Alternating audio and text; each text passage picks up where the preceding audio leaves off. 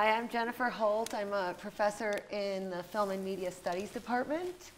And um, I was a grad student of John Caldwell's. He was a great mentor to me.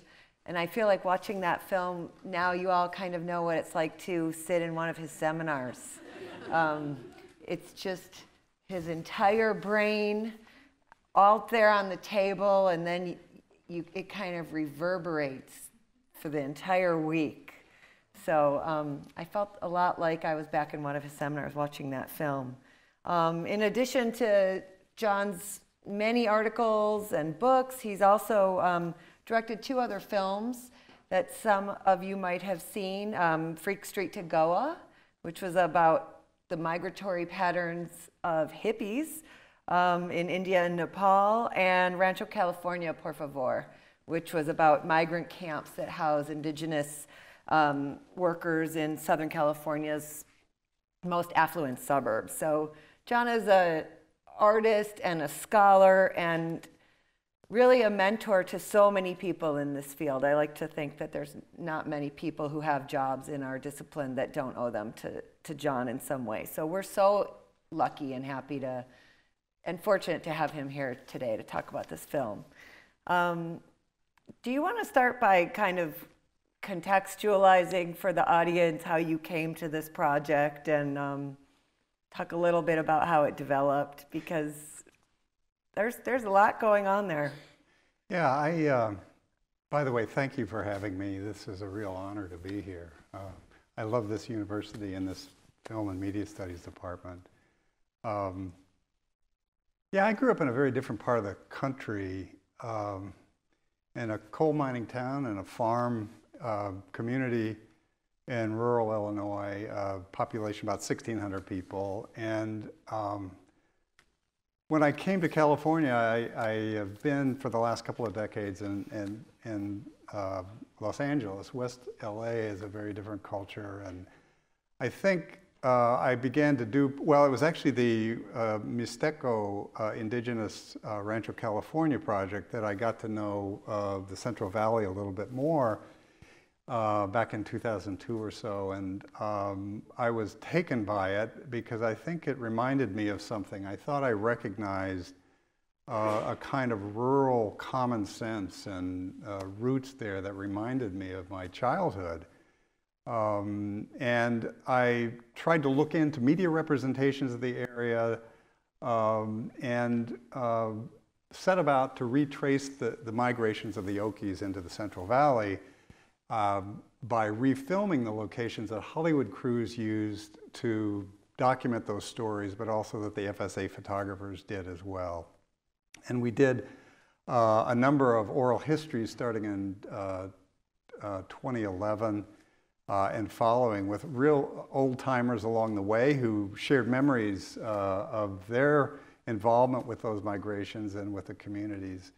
Um, and I, I, finished an earlier piece that had a lot of those oral histories in them, uh, but there was something that was missing from that that I, I couldn't quite uh, wrap my head around, and that was uh, there was a kind of populism uh, unfolding in Kern County that I did not recognize. It was alien to me. It was not what I grew up in, a union town uh, in a rural area. And um, it was this this sense of anger or resentment or victimization that uh, really I was, I was taken by. And I was, I've, I've, really been trying to understand where that comes from. This, this is a county that voted overwhelmingly uh, for uh, Trump in the last election and stand by him against all odds, even when the labor conditions don't seem to uh, jive with that point of view. It didn't make any sense why I met so many people that would justify the conditions on the ground from the perspective of the corporate interest when they were not part of the corporate interest. So I would go to town hall meetings uh, where um, county government officials would brag about the fact that Kern County had the second highest GDP in the nation, of counties in the nation, productivity, wealth. But 50% of the people in that town, in the, town, in the town of Boron, were on public assistance. What's wrong with that? Image. Uh, the other thing that I was taken aback by, again, thinking that I knew what populism was, was Uh, this is the birthplace of the United Farm Workers, but the UFW has a very difficult time getting voted in on any of the operations, uh, the farms in recent years. There's an anti-union ethos there. There's an anti-urban elite ethos. There's an anti-coast ethos. And you hear the sheriff in that final scene basically saying, you know, we're not like the Democrats. We're, we're not a sanctuary city. Uh, we're a law-abiding city. We have law and order here. And it, it was that kind of tension between the predicament of people on the ground and the official politics of this county that just troubled me a great deal. And that's what I was trying to figure out. Why is it that we operate many times, and I would include myself in this, in interest, according to interest other than our own? Um, and, and my hunch was there, this is far more than an issue of the way we think or feel. Uh, I think the environment that we're in affects that. I think a half century of media and film depictions affects that as well. And so what I'm trying to do here is to connect those three registers, align them with each other, and see if they tell us anything about uh, the kind of contention and the resentment uh, that goes on in these places uh, so on the one hand, there's the on-screen depictions uh, of these folks, uh, and then there is the kind of in-the-ground uh, extraction economy, which takes immense resources out. And then finally, I think there's uh, impacts on the body that are part of this as well. So it's, it's, it's a fairly open-ended parallel structure to this thing. But I do think that the landscapes we're in and that we've created and engineered do affect the way we think. I think it's also the way we think out loud.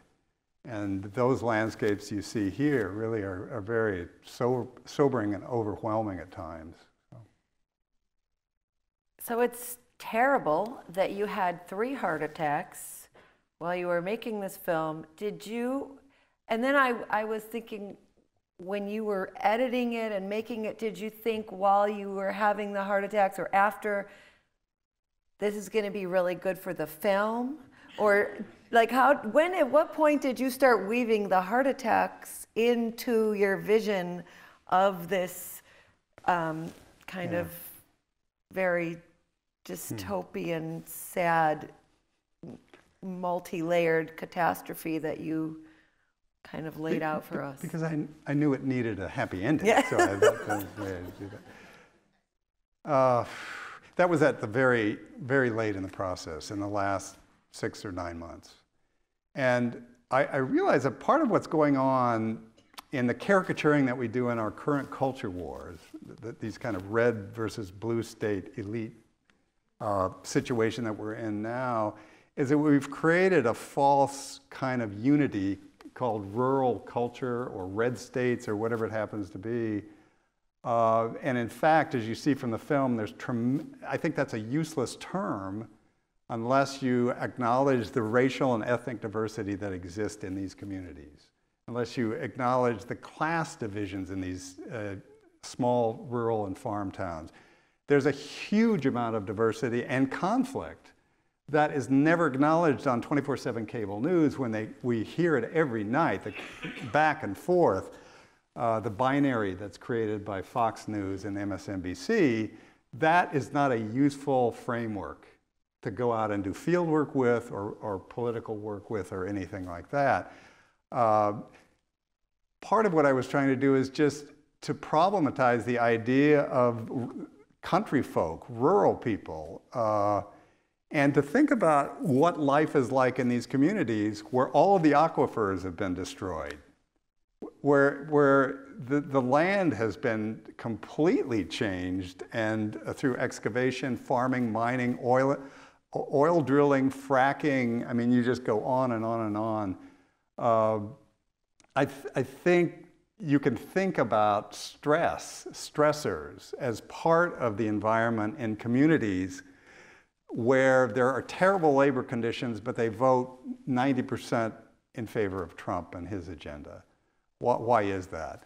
Uh, I, so, so, what I'm trying to do is simply acknowledge the stress that I think exists on all of these other levels because uh, the red states are also brown. There's a massive Latino workforce, not just in the Central Valley, but in Illinois, where I grew up, in Iowa, where I worked on farms, and Indiana and Nebraska and everywhere else. And that's never part of the political debate that goes on on cable news, is the mm-hmm. complexity of these places. They're run on the backs of a kind of diverse workforce and the like. And so the other thing that was happening, I think, as you pointed out, is I realized when I, when I hooked up with Florentino Castellone and Tezomac, I realized they were trying to make infrastructure with nothing. They had no capital.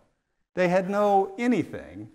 And they were scrambling with whatever they had to put together something that would enable them to put, make a 40 acre farm that produces produce that can be regularly distributed both in Kern County but in south central LA, which it still is to this day. So you can still buy, you know, produce boxes from south central farmers that way. So, I mean, it was just this kind of attempt to build the pipes and the irrigation in a, in a county that was stopping them over and over again that I found endearing. Uh, and it actually reminded me of something I thought about growing up on a farm, working on baling crews, is that even at that age, I thought the most creative artists in the world are farmers. They, they can make incredible things with nothing. And you have to get below the level of the corporate agriculture and industrial farming to find out what happens for the really precarious people in these counties that are completely erased. And you see that with the African Americans as well. So the last shot of the scene, you actually have the Ornelas couple. Uh, you know, she's worrying about what's going to happen when her husband dies of a heart attack. I mean, this, you know, these are hard, hard lives that these people face. And I think it affects their, their kind of outlook and everything else. So it was an intuitive kind of connection that I was making. And I thought um, that stress uh, was something we could engage with and reflect upon on all these other levels as well. So. Um, yeah, I think that really worked. I'm I'm also interested in the approach you took, um, you know, structurally and how mm.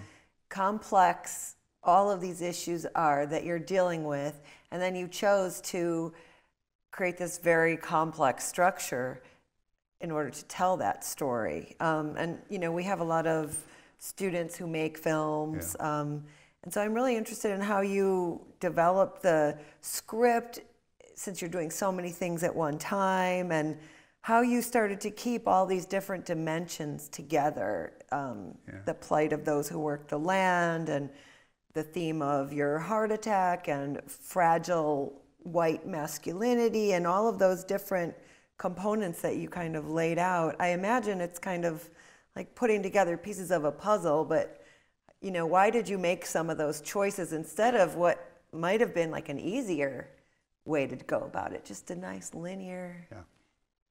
Well, I, I, would say it was probably a bad decision. In no, I love strategically, and I'll tell you why. There, there is, this is the golden age of documentary, but most of the great films out there that are getting circulation are, are story films. They're, they're narrative based, oh, almost high concept. Uh, and that's not the way I think. That's not the way I mm-hmm. stumble around in, in, in land that I shouldn't be on. That's not the way I make images. That's not the, and it doesn't interest me, quite frankly. But if, if you want a wider distribution, you need to figure the story part out. I think there's a bit of narrative in this, but uh, not, you know, it's kind of. There is. I mean, the, actually, the more you watch it, I, this is my third time seeing it it's clear as a bell to me, the narrative, and it just stays with you and it keeps eating at you. I like this approach. I mean, okay. I think this one is so much more compelling, well, but I'm just interested yeah, in so, you know, so what, how you come one of the, the frustrating things, the, the first, there was an earlier version, a film I finished in 2016 that I showed at probably a half dozen or eight different venues and universities uh, that was called Bore on the Buttonwillow. And, and that one, I, we literally went every every mile down Highway 58 from Barstow uh, through Boron, Edwards, Mojave, Bakersfield, Buttonwillow, McKittrick, Taft. And it was, it was a road movie documentary, and we did oral histories at every one of these places. Uh, collected 10 times the amount of material as you see in this film. And uh, I thought it was powerful to listen to 94 year olds wheezing on camera, trying to remember what uh, the Zanuck crew looked like when they went into the Weedpatch camps and things like that, right? But I had this interesting screening experience uh, at one place where several people said, This is just great. Forget the film, just make a database and let people go through it, go, go online and, and kind of dig through the data and put all this stuff together. It's very democratic. It, th- that idea used to seem very radical and kind of interesting formally, and I thought, is have I just spent six years creating a database? you know, and and uh, these old people didn't apparently appeal. They they didn't talk fast enough, they, or something. I mean, it was it was a two-hour experience to go down the highway, and some of the same things show up. The the mind war that I did film was in that, in that, but it was. I think that comment that I thought if that's the response I get, that this is just a collection of materials, what I'm going to do is just cut through all that stuff and try to put together a kind of logic that I see on the ground. Um, structurally, what are the foundations of this kind of proud white masculinity that exist in this place? What are the principles of it? You know, the Ten Commandments or the, the Bill of Rights, you know, God, law and order, whiteness. Uh, you know, work. Uh, to, and that's really the structure that I have here. Mm-hmm. Is, a, and, and I think of it as kind of a poetics uh-huh. of white masculinity uh, in that particular area. And, and those are the kind of things that I think fuel the political disposition in the area as well. So uh, if there's a place for a poetics of, of film, that's what this is. If there's a place for a poetics of a kind of ideology. That's where this would fit. It is a complex film, though I, I get it, and it, it, it, doesn't fit the, it doesn't fit the high concept of linear narrative approach that rules now and is fundable. So that's what I would say to the, to the mm-hmm. film students, understand what you're getting mm-hmm. into, and I think there are market implications to the kind of forms or genres that you use. Mm-hmm. So. Um, I was also struck by the contrast of your commitment to authenticity by re-photographing and re-filming, you know, that you set up in the beginning with the um, all the stand-ins that you consistently show us mm-hmm. that Hollywood uses. And um, I'm interested in if you can talk a little bit about the way that, you know, your commitments to verification and archives and all of that and what you're how you're using that to kind of comment on what you see as um, maybe inauthentic portrayals mm. coming out of Hollywood. Yeah, inauthentic. They it, Tesla does talk about uh, a kind of he has a theory of authenticity.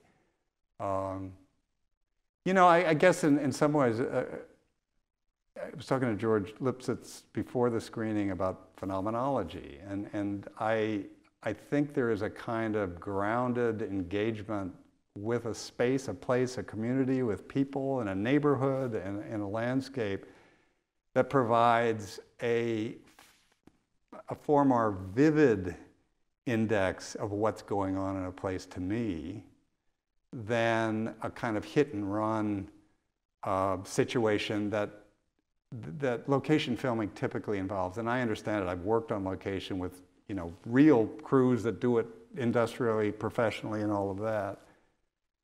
But I, I just think a lot is lost, and I, I just think that the bubbles that are created. So Kern County Chamber of Commerce brags about the fact that they've had over 500 feature films shot there, but the actual political infrastructure hates the Hollywood elites. What's that all about? Well, money connects us. And so they're willing to engage on that level, but continue the shrill rhetoric of condemnation of government overreach, big government, all these other things, right? I'm in these communities going, well, isn't that what this town needs is, is a bigger government uh-huh. that will regulate the groundwater, clean, it, clean up the environment, and do these other things. So, um, yeah, I, So I, I think what I'm, I'm trying to do is stumble off the highway and look at things closely. All those wrecks, those hulking uh, cinder block and concrete ruins that I was in, those were all parts of bombing runs at, at North Edwards Air Force Base. The earlier version actually I got the footage of the, the uh, World War II planes that were bombing these things and, and later. So uh, I, I, I, like to stumble around through the ruins of these, uh, these kind of filmic representations as well. Um, yeah. I mean, the other thing is, I think you, you challenged me a week ago, a, a week or so ago, about the fact that maybe I was being too, too easy on the kind of cultural politics of this area, right? I was just really struck by how sympathetic and compassionate okay. and what a kind of open heart you have for um, a, a, population that not a lot of people do have that for at this time. Okay, and, and I, what I, in thinking about that, I, I was thinking about how would you feel? Sometimes we don't understand the irrationality of a radical right, for example, right? But if all you have seen for over a half century or century are images of country folk as dumb, large, slow thinking, and stupid, how are you going to feel? What kind of rapprochement or engagement can you have with urban communities? That's a nasty, deep seated, embedded uh, predicament that we in Hollywood have put people in. And so the irrational kind of anger that exists now in the culture wars, I, I, think we have to acknowledge we were involved. What was it? What's the deal? That, that, that, that image of rural people is an invention of outsiders, right? And they're, they're an easy mark. Uh, you know, every narrative or comedy has to have a target, and that's an easy mark.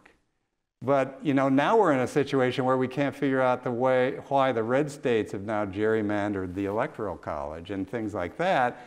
I think these are deep-seated kind of dispositions. And the mutual contempt that exists there, there are reasons for it. I don't i'm not justifying it or anything else. It's just like i want to understand what the history has been between these two. So rather than think just about a caricature of blue state elites in the urban areas, coastal areas, and, and Midwestern or red states, rural folk or values or family values, I'm trying to figure out what the connections are between these two. And lands, land, resources, that's part of the connection that exists right now, that exists 24 7. Uh, and, and I think well, there are economics uh, involved too. So capital comes from LA. So it, it's real easy to look out there at Kern County and say, these crazy people, how can they be sucking all the wealth out of the land, sending all the chemical waste from the drilling and fracking back into the, the freshwater aquifers? How could anybody do that? They're all kind of stupid or insane to do that. But where does that come from? That's capital from Los Angeles and San Francisco and elsewhere. That's, that's you know, national and transnational oil investments. Uh, and, and the same thing's happening to agriculture. There's a lot of Los Angeles money coming in. So it's, that's what interests me is we can, we can hammer each other right and left on and on and on, but if we don't acknowledge that we are connected through financial exchange and through resource extraction, then I don't think we, we can, we're going to solve the kind of um, contention or conflict that exists now. Mm-hmm, so. mm-hmm. When you saw the, um, you know, the Gillette commercial, first of all, how long have, were you working on this film? Well, I, I first went up there in 2010, uh, and then I. Ugh, 2010 to 2016, so we, we finished that oral history road movie, Boar on the Buttonwillow. And then I went back and I, uh, and then we recreated this thing. So it's been over 10, uh, what, eight or nine years, probably. Okay. But I, obviously it's, it's what you can do when you work full time somewhere else. I head up there on weekends. It's my therapy. I got to go out and get, uh, into to predicaments like this to, uh, I don't know, survive in a university environment where you have real politics, you know, and real conflict. Yeah. So, so and the heart attacks happened in 2013, so midway through this. Anyway, Wow. Okay, so when you recently saw that Gillette ad, and for those of you who might not have seen it, there's a recent ad by Gillette Razors Wet, which is saying um, men can do better. There's a culture of masculinity that has been um, become uh, toxic in many ways in terms of abuse and uh, abuse towards women and bullying and all types of things. And the, the commercial I thought was really uh, poignant and kind of thoughtful and had a hopeful message. And the reaction to that was uh, not what I would have expected, but um, quite kind of kind of seems to be coming straight out of your film. And I'm wondering if when you saw this ad and the reaction, if you felt like the whole world needs to see my film right this second, because this is exactly what I'm talking about. Yeah. you know, I read a lot about the Gillette ad, but I Uh-huh. haven't seen it. Okay. So I, I probably shouldn't comment on Okay. that. And I think I'm at a stage But in my, it's kind of, I mean, the whole thing, the struggles, the circular struggles over labor and gender, all of the, these things have not gone away, right? They just keep popping up and reinventing Okay. themselves. So you're this- kind of, This is why you need to take a complex systems approach to these problems. And it's, it's not kind of re-education. We're, we're going to send men out to the re-education camps. it's the precarity in these local communities that I think turn people against each other, right? The, the, the interracial tension in the 1920s and 30s in those camps, because we talked to a lot of people about that, is what happens when you starve your workers or don't pay them enough and you don't allow them to unionize? You kill the union organizers, which they did in the 30s, and they bring the highway patrol in and the sheriff to do that. You create a situation where everybody is struggling individually. Groups turn on each other, men turn on women. There is no collective ethos in those situations. So I don't think, and I think the environmental catastrophe in the Central Valley does the same thing. So I'm not saying that solves men's problems, but if, if you actually cultivated an environment that promoted the collective welfare of these communities in the communities, I, I think you would have less acting out. And, and that's what's the most troubling, you know, that, that business, you know the history of the Okies, is, is like th- there was interracial conflict at that point as well, and the FSA photographers couldn't, weren't going to report the fact that, you know, two thirds of these workers in, in the Central Valley were workers of color. Uh, so, so, so what I would argue for, and there's, there's no easy fix to this, but you got to intervene in common sense ways to make it possible to earn a living in these environments. You don't have to extract that much wealth without returning it to the local community. So the people who are sucking massive amounts of wealth, resource, ag products, oil, gas, everything out of these, they're paying some tax, but let's step up to the plate, big boys. The, the gender problem is not down on the men acting out local. The gender problem is the corporate, you know, kind of vultures that try to maximize profits for finance capitalism. yeah, your film is kind of the answer to, it, it can't really be encapsulated in a 60 second or a 30 second ad. But if they, if they saw the film, I just was struck by the timing and like that we're all watching this now and um, the way that your film kind of lays out some of the more complex dynamics behind these tensions. Hmm. You know, it was fun to watch a group struggle to get off the ground, like the South Central Farmers Collective in Buttonwillow, uh, because Pezzo and Florentino are not Marxist, they're not leftist, right? The only game in town is there is a market economy. If you can figure out how to grow produce, you can sell it and make money and feed yourselves. So they, they create a cooperative environment that operates differently than a traditional corporation. Uh, and they have to attend to the needs of each other to make that work. They have to be really aware of who's in the food processing house in Sun Valley, in the, in the San Fernando Valley, who's delivering to the city sites with, with the, the gardens and all of that kind of stuff. And so it, it, takes, it takes a bit of collective work. You've got to care, I think, to make those relationships more mm-hmm. mutual, to, to, to bring more reciprocity in. And so it, I, I just love seeing a situation where people figure out how to move ahead and acknowledge other people's needs rather than to say, you know, you're, you're fired or I, I can fire you or I'll hire you or whatever. And so, um, so uh, uh, Florentino Castellon, the older uh, Latino here, was a um, consultant economic advisor to three California governors. And that's because Gray Davis, Arnold Schwarzenegger, and Jerry Brown hadn't a clue about what you do in West Kern County. How, how, how can we help these, these people, right?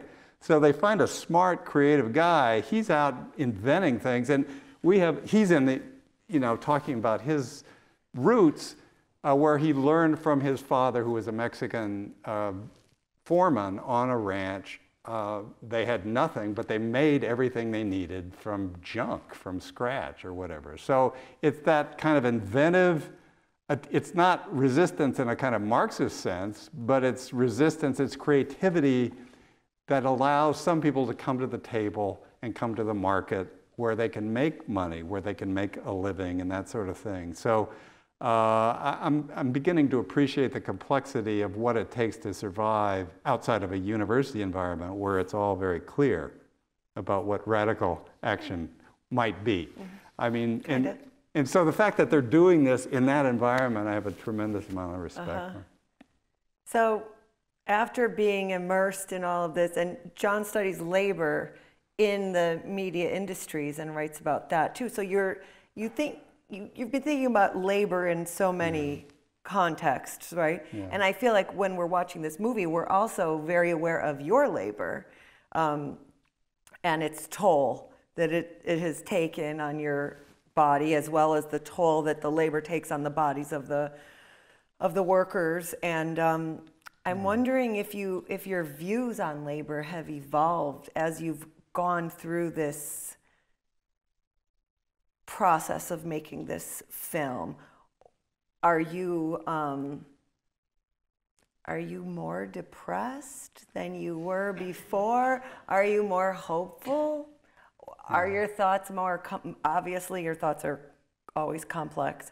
Do you have like 12 different points about how you've come out of thinking about labor after all this or cuz I got I've got to think that there's been some evolution in your yeah attitudes? You know, uh, I'm not. I'm not in a pessimistic mode now. I've, I've come through that physiological experience. I am the luckiest person alive. Uh, I also stumbled into a, a, position at a university, which I can't believe. Uh, and so I'm actually quite optimistic. Believe. No, no, I have lots of ideas about about things. Now, the, I do media industries research, and there was a book I published in 2008 called Production Study, Production Culture, uh, and I took basically the same approach that I took here, where I, we have a tendency when we study industry to go inside or outside, right? There's, and, and, you know, if we can interview the right people, then we understand what goes on. Or if we're on the outside, we have distance and we can analytically do it, you know, without bias. That's the classic battle. But I've always thought you get nothing on the inside with those kind of interviews, except talking points that are scripted by the corporation. So what I studied for that book, I, that was a 10-year project uh, I just talked to as many people as I could in every layer of the industry out to the margins. And that gets really interesting because you're not talking to people who have made it uh, or who are acting like they're self made. You're talking to people who are aspirational, who are marginal, or maybe, uh, you know, have dealt with ageism or whatever. So these all give you different perspectives to understand the film and television industries. And I'm interested in the space they're in, uh, the environment, the kind of cultural uh, implications and that sort of thing. And I, I simply took that thick description out into the Central Valley and I did the same kind of project for this film. So I, I, I, when, we, when I teach a methodology class, I, I am acutely inductive in the way I approach things, which means you drink a lot of caffeine and then you go out and you collect everything you can. I am like a vacuum cleaner. When I, when I go into a media production environment, the same thing. If, if I can take pictures, I'll do that. I'll, you know, get every kind of paratext or industrial text or whatever, uh, artifacts, tools, uh, trade literature, et cetera. And I do that out in the field as well. Uh, but the question's about labor, right? So I, I've had, I actually have had some students, I, challenge me in class. This happened not too long ago. I was showing Silicon Valley and talking about precarity. And one or two students would have none of this. Stop it. You cannot say that. Do not play a violin for those people in Silicon Valley. And I said, I get it. Let's talk. You know, uh, we'll, we'll. And I went up and asked him, well, where are you from? West Virginia, coal mining town, right? So I go, okay, I get what you're talking about here, right? There's precarity and then there's precarity. Mm-hmm. And, you know, the precarity of, you know, really successful focus pullers and gaffers or grips might enable them still to own a house in Chatsworth, right? But the precarity of, of the Latino farm workers who are not unionized in the valley, no, it's a different level. It's a different phenomenological level one's no better than the other or less, but it's just like I have to be honest about mm-hmm. those differences. And, you know, I think I'm at the, I'm as engaged, I'm in, those things concern me. Those differences concern me. So I don't want to do labor studies that just collapse the thing. And every, you know, we can talk about neoliberal capitalism, this and that, and global, you know, transnational capitalism and finance capitalism, which are large abstractions that you know a lot more about than I do. But when you do cultural work on the ground in communities, it's just like you be very careful about how you generalize about the predicament people are in. And so it's just, it's, it's these, these specificities I, am I'm really committed to trying to document. Yeah, and it seems that with every film and every book that you're, you're able to even give us a kind of richer picture of how to do the work if we want to do it too, or if we want to yeah. try. Um, let's open it up to the audience if people have questions. Um, Thank you so much.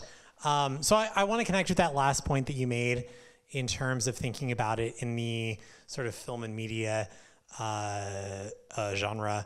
Um, so given the concerns about the Hollywood intersection with this geographic region, um, in terms of maybe the political, the environmental, the labor concerns that you've raised. Um, do you think that there's maybe certain ethical concerns that we should think about in terms of the Hollywood side of continuing to engage with this region? And could we maybe consider this film a provocation for these film media sort of like blue state industries? Hmm. It might be those things. I, I, I, would, I would have a difficult time aspiring to such a goal. You know, one of the reasons I love teaching at a university is because I now believe that's where you can facilitate the most change, right? And, and so I am defenseless. I have no ability or power to critique a corporation. But I have scores of former students that are now percolating through all of these industries and production houses and boutiques and everything else, and they got good heads on their shoulders. You know, there's a common sense, there's a critique of gender politics, there's an understanding. So I really think public education in particular is a hugely important place. And I think, you know, I thought this was a documentary or an art film, but I realized watching it tonight, it's, it's really a, a film professor's film about media representations or something. Maybe it's a classroom exercise, but Uh, so, so, so that's, that's kind of the way I see any kind of critique I would come up with. It, in some ways, it's a difficult uh, film to circulate in a mainstream, but I think it has a place uh, in, a, in other environments, a provocation. That's an interesting question.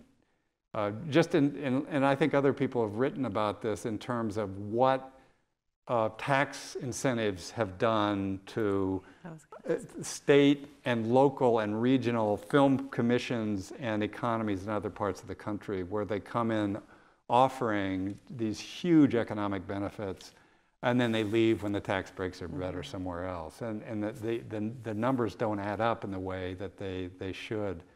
Uh, the thing is now, filmmaking really is a, is, a, is a national enterprise. Every major city has a scene. Every major city has a dozen film festivals. That, you know, there's 10 times the film festivals there were 20 years ago. Uh, so there is economic and cultural activity all over the country. And I think, I don't know what the future is, but that's, that's a hopeful sign to me that the, the indigenous indigenous growing regional industries, I think, are a healthier solution to this than runaway production, where Hollywood thinks that it can drop its, you know, half million here or wherever in a local economy. That's going to be problematic forever. Uh, so good. Thank you for your question, though. Yeah. Uh, I was just wondering if you could talk a little bit about the hinges that I'm observing, perhaps wrongly, uh, between uh, embodied knowledge and then bodily crisis and age in the film. Because yeah. I'm seeing the threads, but I can't quite tie them together. So I'm wondering if you have any thoughts on that. Yeah. You know, this film, by this point, there, there's a lot of hunches and intuitions here. Uh, I feel the age in my body when I try. In fact, I was building a fence, a farm fence, when I had my first heart attack, and I didn't tell anybody about it because I was in denial. Because I'm a runner, I had a heart healthy diet for 40 years. Nothing wrong with me, can't be. I, th- I just thought it was a massive uh, muscle spasm or something, and I, I took care of it in my own way, which is stupid. Don't ever do that. Uh, but I mean, the other thing you realize is you, you see Florentino, who's been at this, he was working in the field long before Gray Davis and Jerry Brown as an eight year old. Remember, farm labor, child labor is still allowed in farming because of old uh, ideas about family work. And so you, in that last scene, there's uh, Robert Ornelas is moving off into the sunset in his motorized wheelchair on his farm in Buttonwillow, and there's Florentino just kind of creaking off. You, so so I, I identify with the bodies of these men who do this work. First job I ever had was on a loading dock in a feed mill. One of the jobs I had in, on the Mississippi, um, uh, and I, I realized that all of the men over 35 or 40 were on the forklift, but they hired 17 and 18 year olds to do all the like manual labor. The fact is, if you do that kind of labor, you are done for. You know, if you don't figure out a way to move out of those physical trades, uh, by the time you're middle age, you're in big, big trouble because your bodies don't mm-hmm. work anymore. So I, I, I, do empathize with that. I, I find what they're doing not just create heroic in some ways, but it's creative. I mean, they're, they're figuring out ways to survive. Mortality is certainly part of this. Aging, the destruction of this environment. Mm-hmm. It's just like, that blows me away. What does my future death mm-hmm. have to do anything? The aquifers that they're pumping their waste into are a half a million years old right? They're going way down to do this. And so who cares about that? I don't know. It turns out all those numbers that I cited there, about 700 times the amount of benzene, you know, 500 times the amount of perchlorate or whatever it happens to be, those were all in the oil company's self-reporting to Sacramento. That was a story that, that LA Times broke a, a year and a half or two ago. And so they, they know this stuff is happening. They're turning it in, but they know that there's an understaffed department up in Sacramento. They didn't read any of this stuff. And then they would go, oh my gosh, are we doing this? So water is the lifeblood of that place. And you have, you know, good, solid market-based business practices that are just destroying the infrastructure. The physical resource infrastructure is being destroyed systematically. And it's like above the ground, it's an arid desert on that part of the county, underground. I didn't realize until I went out and did this and I talked to some of these drillers, there are hundreds of gallons of water that are used just to drill.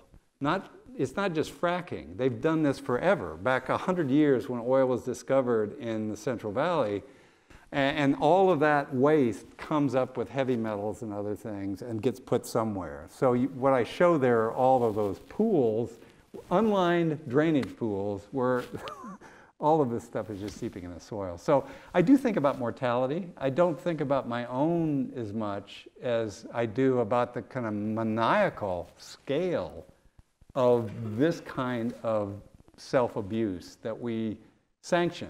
And many of the people that I love and respect that I interviewed will still defend these companies because they're job creators. They're hiring me, right? So I, I get that. And, and it's, that's the thing I get the most upset about, not the kind of mortality. But it, it's an interesting question. The embodied part, I think, is, a, is an important part of this. So thank you. I think you tried to show the complexity the problem and the interrelationships between, you know, the the um, West Coast and the Central Valley. But I think maybe by the choice of your quotes and the, the images that you showed of the Valley people, particularly the white males, are you in danger there of, of creating such a stereotype, mm. especially when one sees the film for the first time and doesn't perceive all of its complexity? Mm-hmm.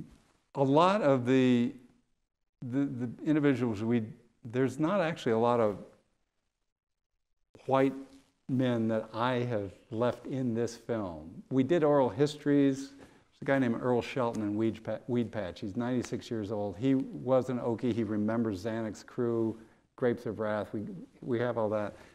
Uh, there's complex ambiguities to what he says. What, what I show the most in this film, the, the human figures that are shown in this film are mostly Latinos, Florentino Castellon and Tozozo Mock, uh, and, and then Terry Judd is the ILWU uh, union organizer out in Boron. Um, I do think maybe, you know, I don't deny that there's probably problematic aspects to this, and this will make people angry. Uh, but most of the images I have of this angry white masculinity are from other texts that I've, I've woven in. And so I'm trying to contrast these, um, the kind of phenomenological realities on the ground with media representations where you do see this kind of machismo show up over and over again. Um, I also, this doesn't answer your question, I, I do realize that these are tough times to say anything about politics. And uh, I'm surprised we haven't gotten into more of a fight here over this. I spent a lot of time in the red states talking to family members and others in Texas and Arkansas and Nebraska about what's going on. In August, we were down in Texas with a family um, in, in my extended family um, that have been Democrats, that are heavily involved in nonprofit work, that are altruistic in the best sorts of ways, that are engaged, they care about the community. And I said, hey, what, what's going on with the child separation policy at the border? And the response was, what? What child separation policy at the border? And I said, well, it's been in the news for a week or two, never heard of it. Right? This is West Texas, big area. Uh, and I said, They've been arguing about this in the United Nations. This is worldwide news. These are human rights abuses that are happening in Texas along the border. what are you guys doing about it? And he was just blank. He didn't know this had happened. How can that happen? And then I realized this region of West Texas is an, has a kind of, is a news desert or a fact desert. All the local newspapers are now franchise operations, they're syndicated. So I don't know where the news comes from, but it just blew my mind that he wasn't somehow in that environment where there were TVs at the cafes downtown and elsewhere, but they, they were showing a network you could probably guess. Uh, but it was really, you realize that the media and the press are missing from large parts of the country. So, um, you know, I don't know why I, I offer that anecdote, except that I, I, I, do care about this. I do argue and cajole people that I know in red states areas. It's, it's, it's, it's not an easy process to find consensus with folks, but it, it can be done. Uh, so anyway, thank you for your question. I, I, I do think this is an open-ended film. I, my background is in the arts and experimental filmmaking, and Brecht and other people you know, really at one point in history pushed us to make open-ended art that didn't have closure that narrative brought. And I think this is an open-ended piece that does ask a lot of a viewer. Mm-hmm. And there's a lot of viewers in my extended family who wouldn't sit through this. in fact, two of them a week ago, I thought this was the coming out of the film the people who care the most about me and my ideas and my family. And I turn the lights down and put the Blu ray in. And we're watching with the sound up. And I look over five minutes in, and they're both snoring. And I thought, oh, that hurts. But I get it. it th- there's a certain kind of film language I'm using here, which is not everybody's cup of tea and it's a kind of cultural specific thing. I thank you for being such a good audience in engaging with me on this film uh, now that I've come out of the darkness of the editing room after several years and shown it. So, well, we want to thank you for bringing your scholarship and your art thank and you. your passion for education and for making us think and for, you know, giving us open-ended art that is still hopeful. Okay. Um, so help, please help me thank John Caldwell. Thank you very much. Come on back with your next film. Okay, I will do that. And thanks to all of you.